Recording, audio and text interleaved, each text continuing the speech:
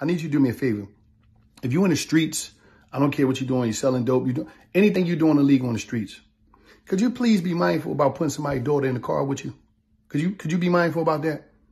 You know how many women been shot, lost their lives because they was in the car with somebody that didn't respect their life because they didn't respect their own life. And they knew that they was operating outside of the law, but not just that. They knew that it was people in the streets that they did had bad business with or things went awry, things went wrong, and they know somebody's looking for them. Or they know they did something to somebody else. So could you please stop putting sisters in the car, somebody daughter in the car with you? And sisters, I need y'all to be on point. Stop getting in everybody's fucking car. Stop getting in people's car. Oh, he got a nice car. Oh, he did. Stop doing that. Because you don't know what they've been into, especially if they operating in the street game. You got to be responsible too. You, Because not all, you know, if a person don't respect their life and don't honor their life, why would they honor yours? And don't nobody think it's going to be them. Even though they know they got beef or they got whatever going on, they think it's not going to be them.